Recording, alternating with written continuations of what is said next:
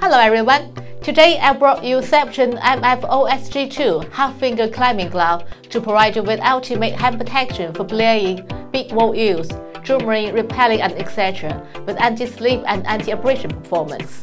Nylon stretch fabric on backpad match ergonomic cutting design to enhance the flexibility, good fit and moisture control. A good grip power and comfort has been provided by this glove in rappelling. No matter in what kind of climbing sports, hands are easily to getting wound while at the creek. This glove has protective cushioning material on the knuckle part to prevent slight crush damage. Hidden ventilations on the cushioning fabric to increase breathability and keep hands dry. Seibertron offers double layers and grip padding to protect your hands from abrasion caused by rope handling.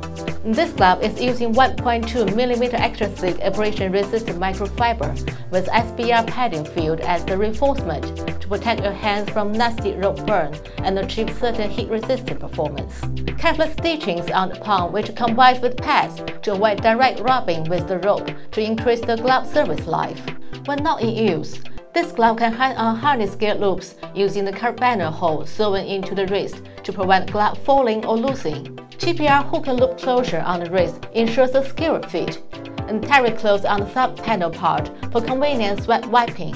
This glove has black color only from size extra small to extra large, and for any friends like climbing or rappelling, this is a good choice for you to protect your hands. And more detailed outdoor sports glove will be introduced in my next video. Thanks for watching and see you next time!